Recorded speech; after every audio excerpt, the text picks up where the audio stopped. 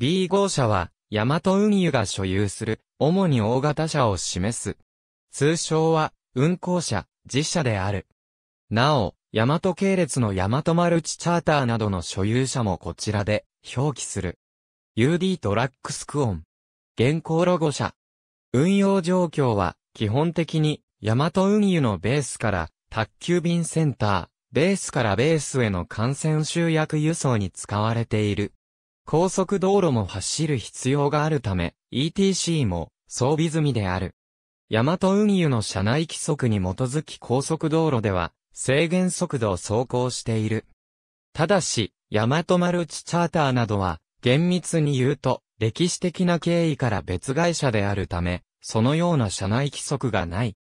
グループ全体を通して最多車種は日野、続いて UD トラックスであり、イスズと三菱不走は少数、さらに数台ながら、ボルボも存在する。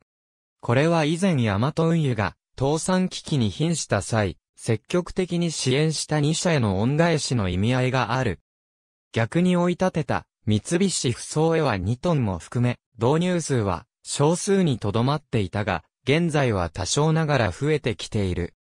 また以前グループ会社のヤマトオートワークスが、ボルボトラックの取り扱いをしていた関係から、トレーラーヘッドを含め導入実績がある。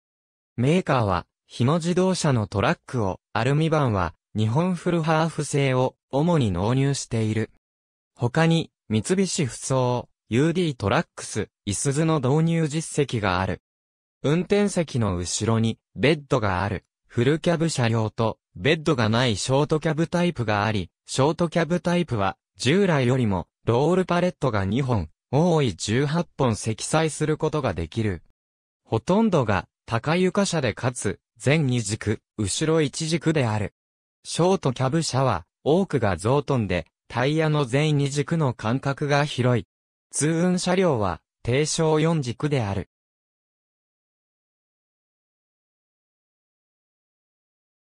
車体のデザインは旧カラーの赤文字で宅急便と書かれたものと現在のカラーで書かれたものが並存する。それ以外に、クール宅急便と描かれた車両があり、こちらは冷蔵、冷凍装置がある。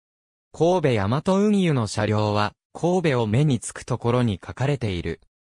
タイヤのホイールには、デザイン上、ベージュのカラーが塗装されているが、2006年頃より、経費削減で塗装をしていない車両が現れた。